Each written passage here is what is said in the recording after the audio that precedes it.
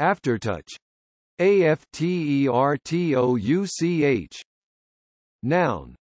A facility on an electronic music keyboard by which an effect is produced by depressing a key after striking it.